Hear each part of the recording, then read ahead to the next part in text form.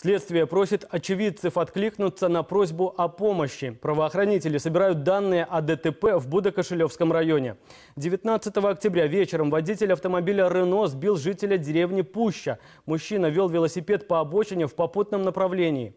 От полученных повреждений он скончался на месте аварии. Всех, кто обладает информацией о данном дорожном инциденте, следователи просят перезвонить по номерам, которые сейчас на ваших экранах.